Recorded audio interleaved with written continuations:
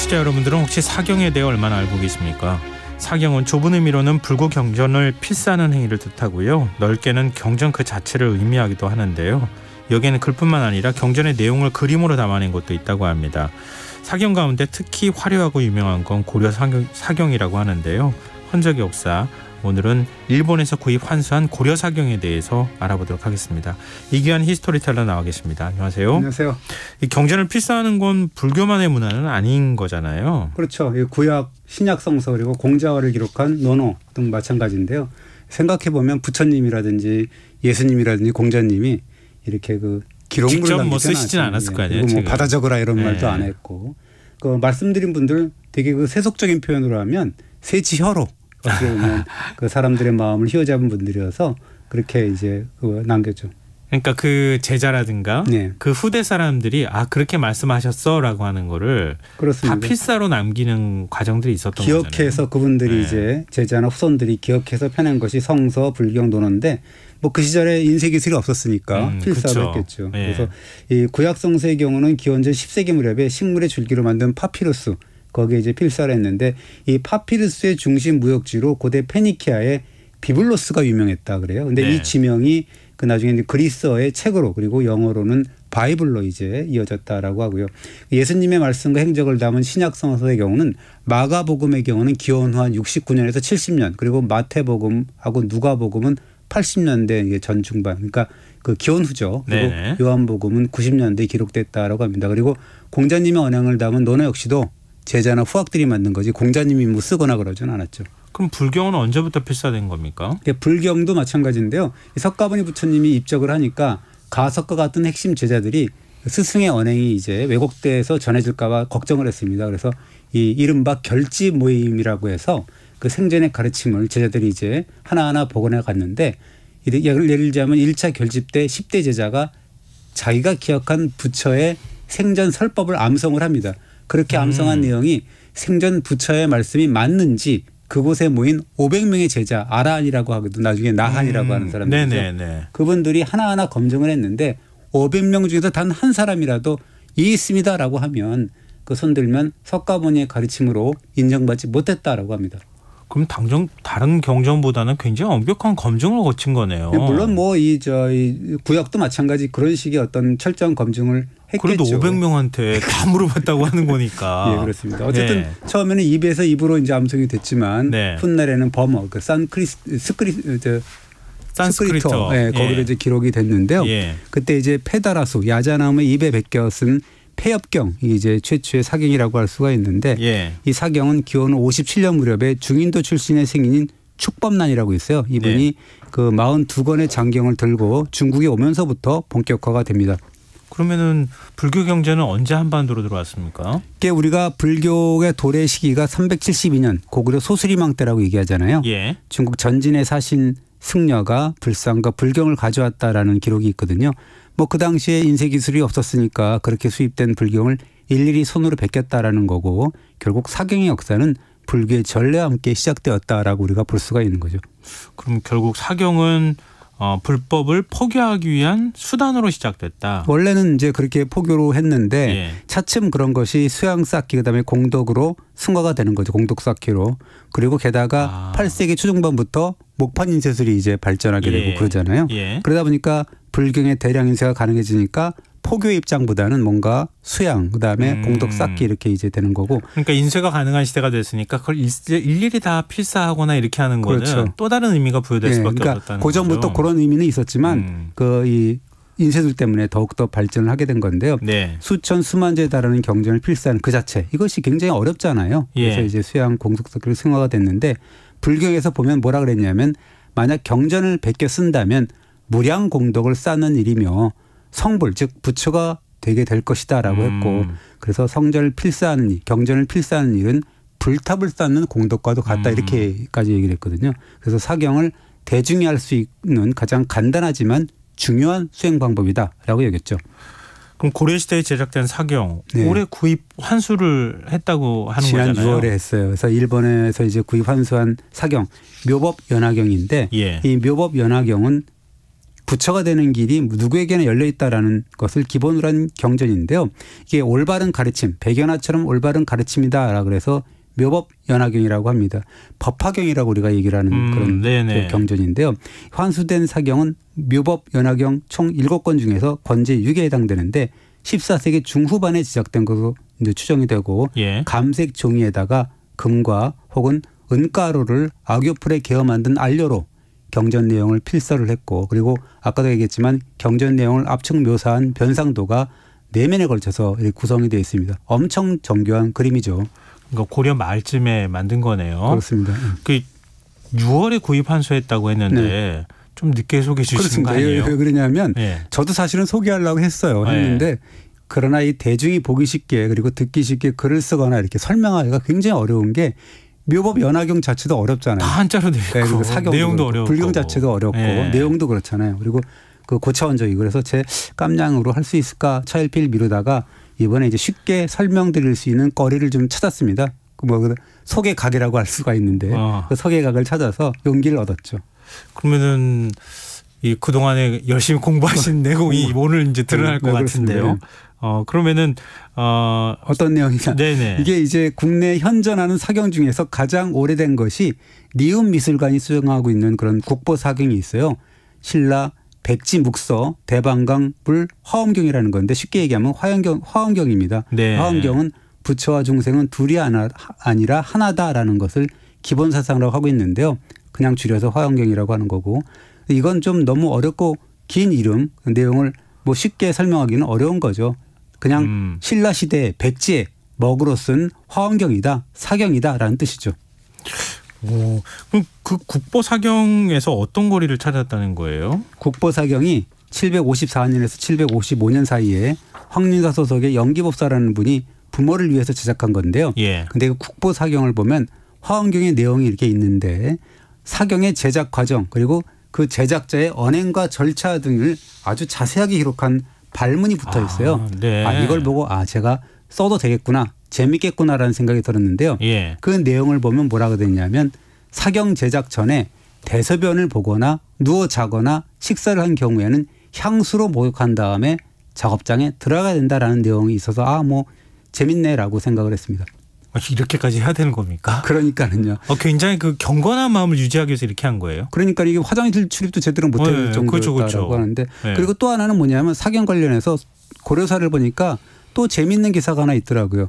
유학자인 최승로가 982년에 올린 유명한 그런 시무 28조가 있지 않습니까? 네, 한때 또 이게 많이 예, 회자가 그. 한국사 보면 배우죠. 예. 거기 한 대목인데 뭐라고 써 있냐면 신라 말에 사경과 불상을 모두 금은으로 사용해서 장식했기 때문에 사치가 도를 넘었고 마침내 음. 멸망에 이르렀습니다.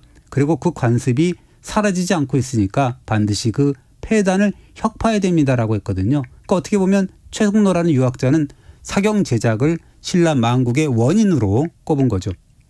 이렇게까지 꼽는 꼽는 이유가 뭘까 궁금하고요. 예. 사경이 그렇게 대단한 작업일까 하는 생각도 들고요. 그렇습니다. 이게 그 이 신라 국보사경의 발문을 더 깊이 들어가 보면 예. 사경 제작이 얼마나 뼈를 깎는 수행이냐라는 것을 알 수가 있는데 예. 종이 담당 그리고 필사 담당 그림 담당은 물론이거니와 그 작업을 돕는 지원 인력까지 화장실 출입 아까 얘기했던 황, 향수 목욕은 기본이었고 작업장 가는 길은 더욱 엄숙했습니다. 앞장선 청색 옷 입은 동자 두 명 있고 그다음에 연주자가 네 명이 또 따라가고 향로를 받들고 불교 음악인 범패를 부르는 승려가 또 따라가고 와. 향화를 든 필사자가 따라가고 이런 식으로 굉장히 경건하고 엄숙한 그런 과정이 있었고 그렇게 정성껏 다해서 만들었으니까 어떨까. 신라 국보사경의 발문을 보면 이렇게 나와 있어요. 이 예. 사경 만든 걸 보고 설사 끝없이 펼쳐진 세계가 부서진다 해도 필사한 사경은 허공처럼 파괴되지 않는다. 중생이 이 사경에 의지해서 용맹정진하고 기원 수행하면 성불한다라고 써 있습니다. 부처님을 만나듯이 그렇습니다. 사경을 만든 음. 거네요. 어우, 엄청난 엄청난 절차와 모든 지극정성을 다해가지고 네. 최대한 화려하게 그런 과정들을 거치면서 사경을 만들었던 거네요. 그렇습니다. 그러다 보니까 이제 물적 인적 자원이 많이 들겠죠. 화려해지고 예, 그쵸. 사치해지고 그런 예. 그래서 이제 최승로가 사격의 혁파를 요구한 게된 그래서 거죠. 그런 얘기가 나온 거군요. 네, 그렇습니다. 근데 정말 혁파가 됐습니까? 아니죠. 그러니까 당대 고려 사람들이 최성로가 그렇게 얘기하는 거 보고 뭐래 하고 이제 무시했던 것 같아요. 그래요? 고려가 불교 국가였잖아요. 예. 유학자가 아무리 혁파를 외친다고 해서 그 전통이 살아 있겠습니까? 아. 현재 그 일본 국립교토박물관이 보관하고 있는 사경 대보 적경이라는 게 있습니다. 예. 현존하는 가장 오래된 고려 사경인데 이 사경의 발현자가 누구냐면 천추태후인 황보 씨 그리고 그 애인인 김치향이라고 되어 있는데요. 네. 이 천추태후는 뭐 드라마에도 나왔지만 5대 임금인 경종의 부인이면서 7대 목종의 어머니거든요. 예. 그리고 18살에 즉위한 아들 목종을 대신해서 섭정한 그게 여걸이죠. 아니 근데 임금의 부인이었던 분이 외간 남자하고 사귀었다고요? 사귄 정도가 아니라 이 태우전을 드날던 김치향이라는 남자하고 깊은 관계를 맺어서 아들까지 낳았는데요. 예. 그것을 그친 게 아니라 이 두 사람은 둘 사이에 난 아들을 왕위에 올리려고 모의를 하고 작당을 했습니다. 결국 1009년에 강주의 정변으로 인해서 김치향과 그 아들이 죽임을 당하고 천추태후의 아들인 목적마저 폐해가 되는 거거든요.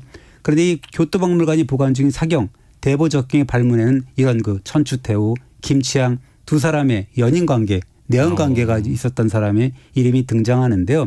아마도 이 사경은 1006, 1006년에 이제 제작이 된 건데 김치향과의 사이에서 아들을 낳은 천추태후가 이 아이의 장래 성공 즉 왕이 등극을 기원하기 위해서 제작한 것이 아닌가 뭐 그렇게 보입니다. 아니 이렇게 불경스럽게도 그러니까요. 이런 요즘과 좀 다르죠. 그런 고려 시대만 해도 굉장히 그 근신 그런 결혼도 많았고 아, 그랬기 그러니까. 때문에 예, 지금하고 좀 그 달리 이제 해석을 해야 될 것 같습니다. 그러면 어찌 됐든 이 천추태후 태후 같은 왕실 인물이 앞장서서 사경을 제작했다 이렇게 봐야 되는 거네요. 그렇습니다. 이렇게 하니까 이제 최승로가 아무리 얘기를 해봐야 소용없는 거죠. 네. 그돈 많고 권력을 갖고 있는 사람들이 무병장수 그리고 죽은 부모의 극락 왕생을, 왕생을 기원하면서 앞다퉈 사경을 만들었다라는 건데 1181년 고려사를 보면 굉장히 의미심장한 기사가 하나 떠 있어요. 뭐냐면 네. 명정 임금이 은글씨로 대장경을 사경하라라는 명을 내리니까 사람들이 경쟁적으로 돈과 기물을 기부했다라는 거예요. 음. 그런데 이 돈과 재물 창고에 있는 거를 네. 노린 무례배들이 기부 물품을 훔치려고 이 사경원 창고 물건에 불을 질렀다. 뭐 이런 기사까지 나올 정도로 그랬습니다. 얼마나 호화사경 제작품이 일어나길래 일어났길래 이래요? 엄청나게 쌓여있다라는 얘기가 되는 거죠. 그리고 이 고려 사경은 뭐 고려 말기 충렬왕 이후에 더욱 번성하게 되는데 예. 충렬왕이라는 사람이 누구냐? 1274년에 원나라 황제인 세조 즉 쿠빌라이의 막내 딸인 제국대장 공주라는 그 여인하고 혼인한 분이죠. 그럼 이때 고려가 원나라의 부마국이 되고 그때부터 된, 된 겁니다. 그래서 예. 원나라에 충성한 임금들이라 그래서 충자 돌림 왕들이 이제 그때부터 음. 왕위를 이어가는데 이로써 이제 고려 왕실과 권문 세가에서 그 몽골 즉 원나라의 관습을 좇는 그런 풍조가 유행을 했고 충자 임금의 첫 번째 임금인 충렬왕부터 국왕이 발언하는 그런 사경뿐만 아니라 개인 발언의 사경 더욱 화려해집니다. 그리고 충렬왕은 국가 전담 사경 제작 기구까지 만들어요. 음. 금자원, 은자원 이런 걸 만들어서 국왕 차원의 사경을 제작을 하는데 그렇게 제작된 국왕 발언 사경이 현존하는 것만 10점에 이를 정도로 화려하고 많습니다. 그러면 충렬왕은 사경을 제작하면서 어떤 소원을 빌었습니까? 그이 대목과 관련해서 1285년 제작된 그 사경이 눈길을 끄는데 네. 충렬왕과 부인인 제국대장 공주가 원나라 황제인 세조를 위해서 제작한 사경이거든요. 금으로 필사한 굉장히 화려한 대장경입니다. 음. 명색이 이제 뭐 고려의 임금이니까 물론 고려의 왕실의 어떤 안녕도 빌었겠죠. 음. 그러나 이 사경을 보면 결국은 원나라 황제인 세조를 위해서 제작한 거잖아요. 그래서 당시 원나라와 고려와의 관계, 부마국이라는 관계를 단적으로 일러주는 그런 사경이라고 할 수가 있습니다. 근데 특별히 충렬왕 시기부터 이렇게 사경을 많이 제작한 이유가 있을까요? 예, 그 사경 제작 기술이 고려의 사경 제작 기술 엄청나게 뛰어나서요. 고려사 아. 기사를 보면 당시 원나라가 글씨를 잘 쓰는 잘 쓰는 승려 즉 사경승을 수십 명에서 수백 명씩 징발해 갔다라는 기사가 줄을 잇고 있거든요. 예. 특히나 1290년 기사를 보면 3월에서 8월 사이에 세 번에 걸쳐서 100명 이상의 고려 사경승을 그런 원나라 세조의 명으로 원나라로 원나라로 이렇게 징발해 갑니다. 이 제작 기술이 뛰어나서입니까? 아니면 그만큼 많이 제작했다는 얘기입니까? 둘건 둘 다일 것 같아요. 예. 근데 그 원나라에는 이런 식으로 그 이제 뭐 이렇게 사경 제작을 하는 그런 사람은 없을 뭐 이렇게 기술이 별로 없다라고 볼 수가 있는 건데요. 당연히 제작하는 사람도 부족했을 거고. 그렇습니다. 근데 이게 왜 그렇게 많이 100명 이상 데려갔냐? 거기 이유가 지금 대구 동화사에 예. 홍진 국사비에 새겨져 있는데 뭐라고 되어 있냐면 어. 그 무렵에 1290년에 원나라에 파견된 100명의 사경생이 다음 해까지 대장경 금으로 된 대장경을 필사했다. 그것을 완성했다라는 그런 기사가 보이거든요. 그러니까 네. 엄청난 규모의 사경 불사가 있었다라는 거고 그 후에도 원나라가 고려 사경성의 초빙 계속합니다. 그래서 고려사절의 기사를, 보면 1311년 기사를 보면 원나라 황태후가 고려가 사경을 제작해서 바친 것을 격려해서 상을 준다라고 하면서 원나라 지폐인 보초를 5,800정을 하사했다라는 기사도 보입니다. 그러니까 원나라에서 이렇게 많이 제작하니까 우리도 제작하자. 네. 그렇죠. 덩달아서 제작하다 보니까 네. 점점점 많이 제작하게 됐다는 거잖아요. 그러니까 그렇게 되니까 원나라가 그렇게 뭐 상국이잖아요. 어쨌든 간에 네. 그렇게 제작을 많이 하니까 고려 내에서도의 풍조도 마찬가지였겠죠. 그리고 이 원나라에까지 알려진 그 자랑스러운 사경 기술 당연히 이제 고려에서 대유행을 했을 거고 게다가 원나라에 빌붙어서 세도를 부린 부원파, 친원파들이 개인 차원에서 사경을 앞다퉈 제작했을 겁니다. 뭐 이른바 돈 많고 방귀깨나 네. 낀다는 사람들이 전부 다 다 만들었겠네요. 그렇습니다. 그래서 그 현존하는 고려 사경을 보면 그런 작품들이 있습니다. 그 부원파, 친원파라는 사람들이 만든 작품들이 있는데 네. 1294년에 제작된 사경을 발언한 사람을 보면 제국대장 공주의 측근으로 보이는 안절이라는 사람인데 이 안절은 예. 발언문을 쓰면서 원 황제 만년 만세를 먼저 쓰고 쓰고 음. 고려 왕이라든가 부처는 뒤에 이렇게 그 어, 내세우고 막 그랬거든요. 네. 그리고 국립박물관 소장 국보 사경을 보면 충선한 때 제작을 한 것으로 보이는데 이 발언자 이름을 보니까 이하선 불화라고 적혀 있어요. 이 이게 어떤 이름입니까? 이거 되게 낯선데요. 이하선 불화 이게 뭐 원나라 간섭기판 창시개명이라고 볼 수가 있는 거죠. 어? 이 원나라식 창시개명이요? 그렇죠. 이 시인데 오. 그 원나라식으로 이름을 이하선 불화 이런 식으로 했다라는 아, 거고 이시성을 가진 사람이 그렇죠. 야불선화라고 이름을 예. 준 거예요. 예전에 우리 우리 저 아, 일제강점기 때도 일제강점기 때 그랬잖아요. 아. 그렇습니다. 그래서 발언문을 보면 원 황제의 치세가 영원히 공고해지기를 빈다라는 뜻에서 뭐 황도 영고 구절이 이제 새겨져 있고 그렇습니다. 그리고 개인 소장 사경을 봐도 창씨 개명제인 정동만 다라 정씨죠 역시 아, 예. 정동만 다라라가 이제 발현, 발언한 것이 어떤 그런 사경이 보이고 그 원나라 궁정에서 출세한 고려 황간 뭐 이름도 보이고 그렇습니다. 그래서 이 고려 후기 사경을 보면 당대 막강한 권세를 휘둘렀던 부원파, 친원파들이 상당수입니다. 그래서 오죽하면 1391년 거의 말기인데 예. 그 최고 의정 기관인 도당에서 이 공양왕한테 뭐라 그러냐면 제발 권문 세족들이 금과 은으로 사경하는 풍습을 좀 금지하게 해달라라는 그런 청을 올리기도 했습니다. 그 시절에는 이렇게 금관으로 글씨를 많이 썼더라고요. 저도 그러니까요. 옛날 거 그거 보고 깜짝 놀랐어요. 너무너무 정교하게 잘 써가지고. 네 그렇습니다. 지난번에 이제 구입했다고 말씀하신 네. 그거 사경 역시 고려말 권문세 관 중 누군가가 제작을 했던 거잖아요. 그렇죠. 이게 총 일곱 건 중에서 한 건만 환수가 됐거든요. 예. 거기에는 누가 이렇게 발언했는지 이름은 없습니다. 아마 마지막 건제 7권 권제 7회마 이 발언문이 있을 것 같다라는 생각이 드는데 필시 고려 말에 부하 권세를 누린 인물 중에서 한 사람일 것 같다라는 생각이 들고요. 저는 이 고려 사경을 보면서 좀 아이러니한 측면이 있는데요. 네. 최승로 같은 사람이 사치스러운 사경 제작 풍토를 이제 풍조를 이제 개탄했지만 예, 예, 예. 어찌 보면 그렇게 이제 사치 호화를 부리는 그런 덕분에 700년의 후손들이 그렇게 화려한 고려 불화를 감상할 수 있다라는 또 아이러니 같은 생각이 들어요. 그래서 아, 또 그러니까 또 그렇게 또 이해가 되네요. 그렇습니다. 그래서 그 화려함 속에 담겨 있는 그런 영익의 역사 이것도 또한 기억을 해야지 화려하다고만 하고 거기에 막 취해 있으면 안 된다라는 생각도 잠깐 들었습니다. 그러니까 고려 시대 때 유물이 별로 안 남아 있죠. 그렇습니다. 이 고려 시대 기사를 쓰기가 좀 애매한 게 그래서 예. 기록도 많이 안 남아 있고 예. 그런 측면이 좀 있어요. 그래서 좀 약간 좀 어려운 측면이 좀 있습니다. 우리가 몇 번의 참화를 겪으면서 그 예전 굉장히 뛰어났던 문화유산들을 다 잃어버린 거 아닌가. 그렇습니다. 그런 면에서 너무 안타깝습니다. 그게 굉장히 많이 남아 있다고 하면 은 우리가 여러 가지 얘기를 할 수 있었을 텐데 말이죠.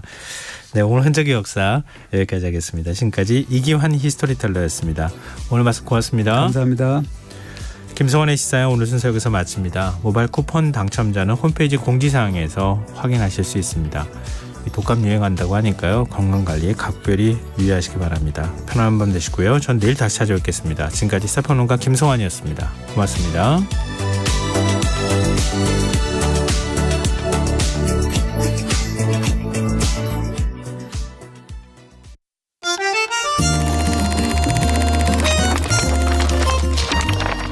김유정의 영화관, 정여울의 도서관.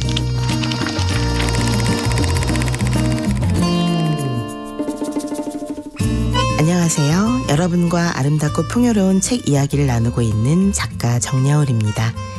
오늘 함께하는 책은 와시다 기요카즈의 기다린다는 것입니다. 기다림에는 두 가지가 있습니다. 정확한 기다림의 대상과 목적이 있는 경우, 합격 발표를 기다리고 건강검진 결과가 나오기를 기다리는 것 같은 목표의식이 뚜렷한 기다림입니다. 두 번째 기다림은 뚜렷한 목표 없이 무의식적으로 나도 모르게 무언가를 기다리는 마음의 상태입니다. 다 포기한 줄 알았는데 나도 모르게 좋은 소식을 기다릴 때도 있고 다 잊은 줄 알았는데 문득 누군가와의 추억을 떠올리게 하는 물건을 보면 걷잡을 수 없이 그리움이 밀려들기도 합니다.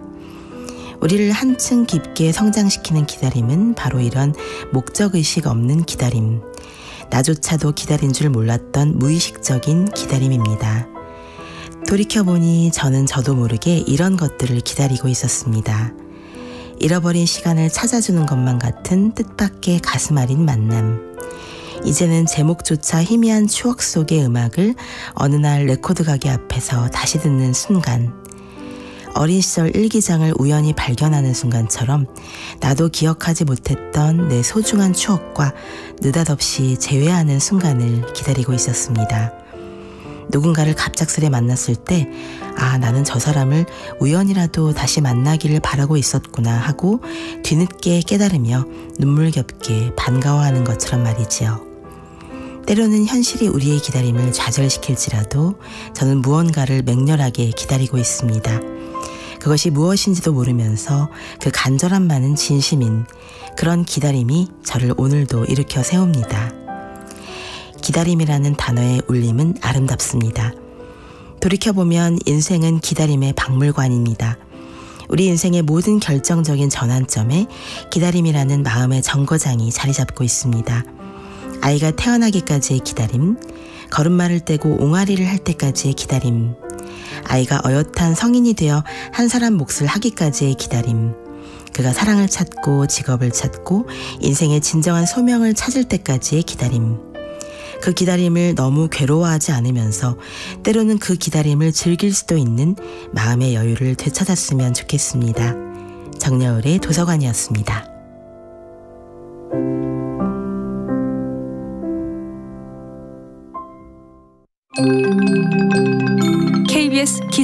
기상통보 안녕하십니까. 기상청 10월 10일 밤 11시 발표 기상통보입니다.